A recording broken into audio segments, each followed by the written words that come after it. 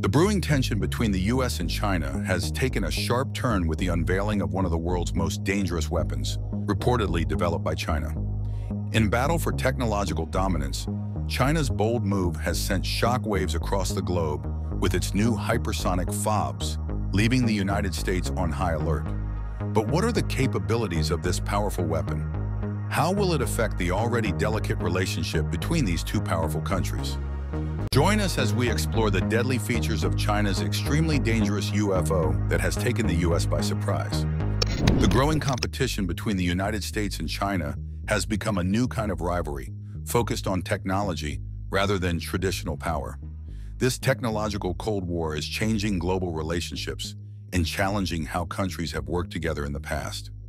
As the situation becomes more complicated, it's important to understand the different aspects of this conflict. What started as a race for economic and technological leadership has now turned into a strategic competition.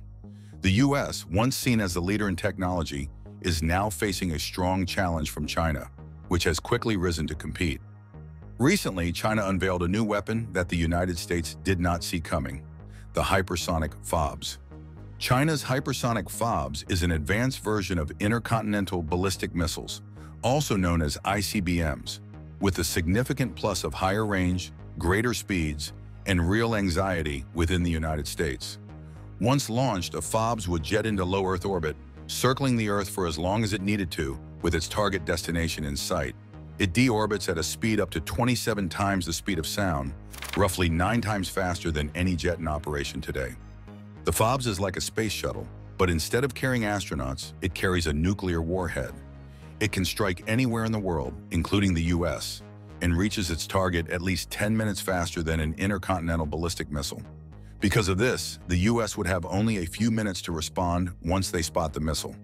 Even if the US had plenty of time to prepare its defenses, reports suggest that the FOBs can avoid their missile defense systems due to its glider and speed.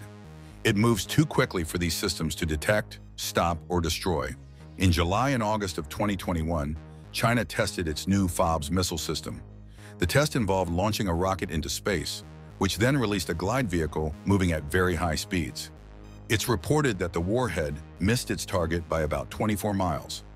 The FOBS technology, which was first developed during the Cold War, is less common today as most advanced militaries prefer ICBMs.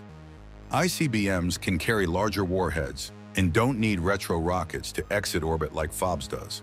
The exact number of warheads a FOBS can deliver is not known, and it's unclear why China is developing this system instead of improving its ICBMs. However, these tests have sparked global debates about security and arms control.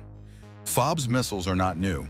The Soviet Union was the first to test them in the 1960s, but they abandoned the idea because the missiles had smaller payloads and were easier to detect. Now China has revived these missiles and made them better with new hypersonic glide vehicle technology.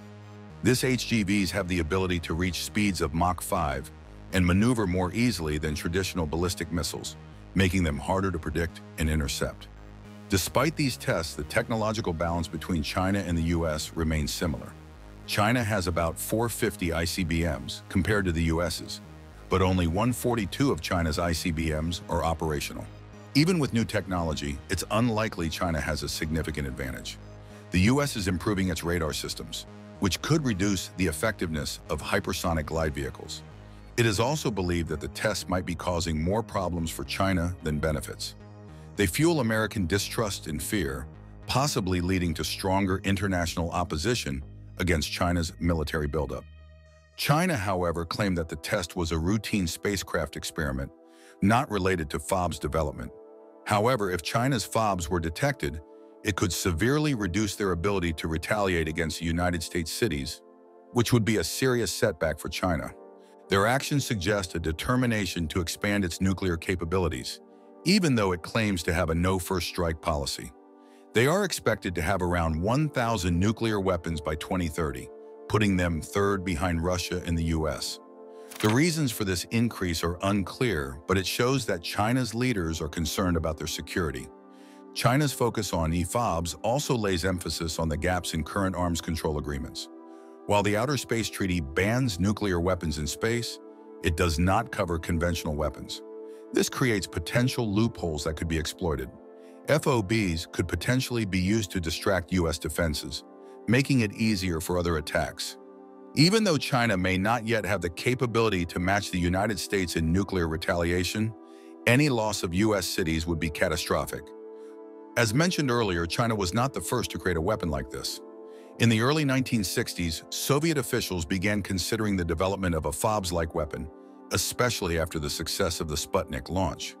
The Soviet Union thought it was a logical step since they believed that the US was planning to use space for nuclear attacks. The success of the Soviet Vostok program, which put a human into orbit, made this idea seem more possible. The Soviet Union saw several key benefits in developing the FOBs. It allowed for an unlimited striking range with nuclear weapons and could launch an attack from any direction, whether from the North or South Pole, or even both simultaneously.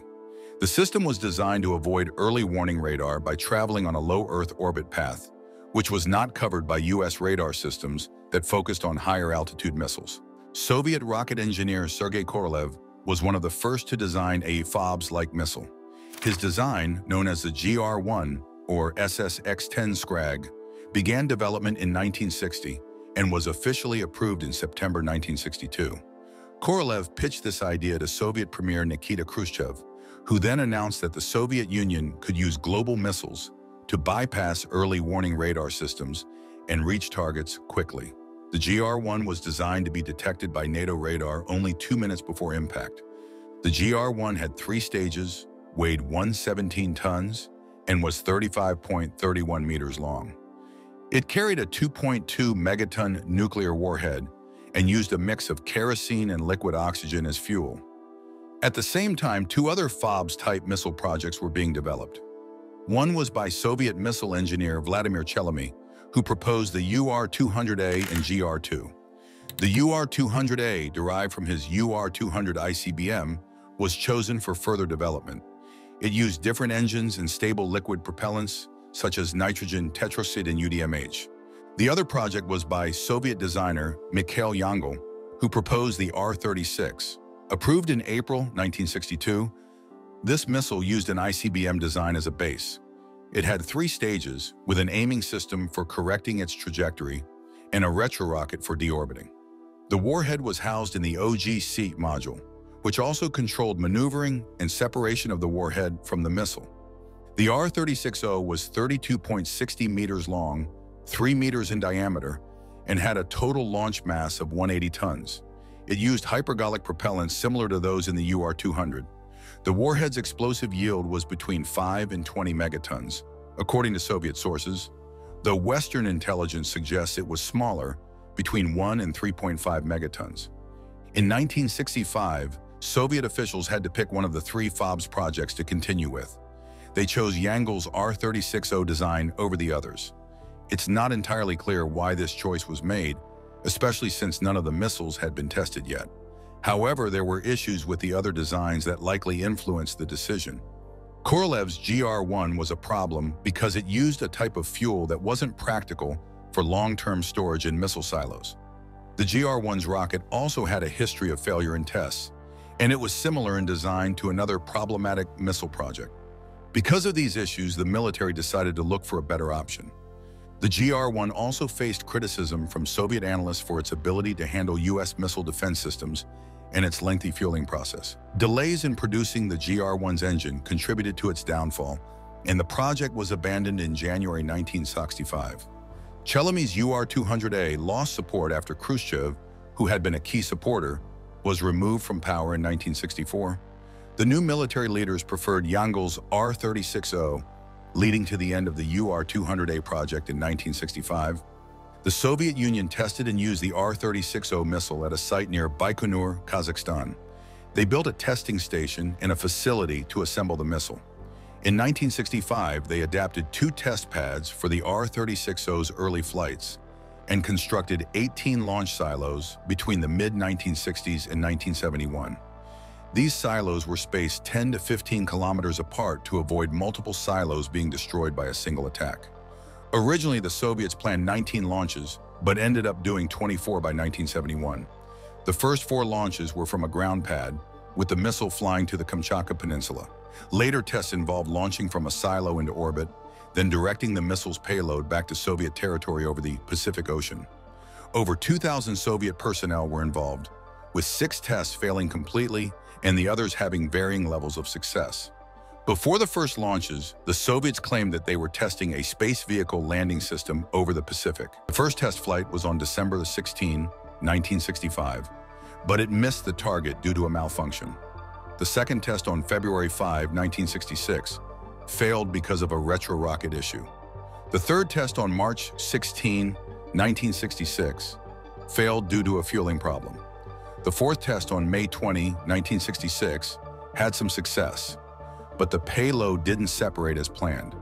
Subsequent tests from silos faced issues, including intentional destruction of the missile due to an engine malfunction. One failed test caused debris to fall over the Midwestern United States. In 1967, the Soviets conducted 10 more tests, with nine showing some success. They used public statements about satellite launches to cover their R-36O tests. On November 19, 1968, the R-36O was declared operational and deployed in groups of six. By 1971, all 18 silos in Kazakhstan were in use. NATO intelligence believed the R-36O targeted the U.S. Grand Forks Air Force Base, where an ABM system was planned. The missile was not equipped with a nuclear payload until 1972. In the 1960s, the Outer Space Treaty prevented both the US and the Soviet Union from placing nuclear weapons in orbit. But that wasn't the only reason the Soviet FOB stayed grounded. The US had stopped focusing on defenses against nuclear weapons, making the FOBs less relevant since Soviet ICBMs could still cause significant damage. Now, with the Outer Space Treaty in the past, there's nothing stopping major nations from putting nuclear weapons in orbit, as China has shown. According to the Financial Times, China tested its hypersonic orbital bombardment weapon in August. China says it was just testing a space plane, but given their recent push in weapon development, their explanation seems unlikely. The big question is, why has China developed this powerful weapon so quickly, faster than the United States could keep up with? The reason is similar to why Moscow developed such weapons over 50 years ago, to overcome the U.S. missile defenses. It makes sense because a FOBS is one of the few weapons the US doesn't have a complete defense against. The FOBS could keep the target location hidden until the last moment, only revealing it when the payload was released. This ability gives it an edge against defense systems. It also has the advantage of reaching its target about minutes faster than an ICBM.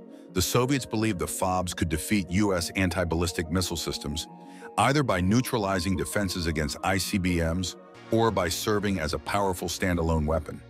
U.S. officials later suggested they could develop countermeasures, indicating that the FOBs was indeed effective against the defenses of its time. But maybe not for long, because if anything, the United States is notorious for having the best response to threats. How will the U.S. respond? The U.S. must find a way to make China believe in nuclear deterrence and put their FOBs away. Trying to ask really nicely would only risk giving them something to laugh about the US must prove they can handle Chinese FOBs or deal similar damage to China with some sci-fi weapons of their own. Marco Langbroek, an expert on space, suggests that the US should extend its ballistic missile defenses and add anti-satellite missiles. Some think this might not be the best idea, as building a defense shield could lower the morale of everyday Americans who feel vulnerable. There are already comparisons being made to the Sputnik crisis from the 1950s when Americans feared the Soviets launching the first artificial satellite, the Sputnik 1. The U.S. has two main options, either get neighboring countries to build their own missile defense systems or create more defenses within the U.S. The first option sounds logical, but is expensive and involves spending money on defense systems outside U.S. borders. For instance, the ground-based mid-course defense system in Alaska cost about $70 billion, and a proposed site in New York was estimated to cost $3.6 billion for just five years and could only handle five enemy missiles. China is making space defenses more complicated by testing both orbit-based and non-orbit-based attacks. The Space Force is determined to keep up with China, spending a lot to do so. China has also tested a satellite that can disable U.S. satellites, which the Space Force finds troubling. In 2013, China launched a satellite called Shiyan, which had large grappling arms to capture other satellites. China said it was for research, but it's unusual to research weapons before developing them. Russia has also been active. They launched three attack-capable satellites. The first, called Kamikaze, was launched in 2014 and could move at high speeds. A later satellite, launched in 2017, could shoot projectiles. The third satellite, the Nesting Doll, combined these abilities, making it like a fighter jet in space. All this space weaponry has caught the attention of the U.S. The U.S. Space Force was established the same year Russia launched its fighter satellite. The Space Force and other parts of the U.S. military, including Air Force and companies like Lockheed Martin, Boeing, and Northrop Grumman, are working on advanced technologies like powerful lasers to destroy satellites and missiles. The U.S. Navy and Army recently tested a hypersonic missile at the Pacific Missile Range in Hawaii. This test helped gather important data about how the missile works from start to finish, for both the conventional prompt strike and long-range hypersonic weapon programs. During the test, the missile launched, creating a large fireball and clouds of smoke. Vice Admiral Johnny R. Wolfe Jr., who is in charge of the Navy's strategic systems programs, called the test an important step in developing hypersonic missiles for the nation. Lieutenant General Robert Rasch Jr. from the Army also added that with this new technology, the military will stay ahead of any potential threats. Aside from this new technology that was recently tested, Lockheed Martin and CoAspire have also introduced the new Mako multi-mission hypersonic missile at the Sea-Air-Space 2024 event. Rick Loy, a senior program manager at Lockheed Martin, explained that the missile is designed for the U.S. Navy. It's a fast, affordable, and highly capable system that can target multiple threats with one weapon. The Mako, named after the fastest shark, was showcased for the first time since development began seven years ago. A display at the event showed an F-35A launching six Mako missiles quickly from internal and external mounts. Although Mako is versatile, it wasn't created for the Navy's hypersonic air-launched offensive anti-surface program. Instead, it was initially Lockheed Martin's bid for the U.S. Air Force's Stand-in Attack Weapon program, designed to hit enemy missiles and air defense systems. Northrop Grumman ultimately won the SiAW contract, but Mako remains an advanced option for future missions. Even though the Mako missile was revealed, Rick Loy from Lockheed Martin couldn't share many details with Naval News. He could only reveal that the missile uses multiple guidance methods and has electronic packages, but didn't give more specifics. However, he did confirm that Mako can reach at least Mach 5.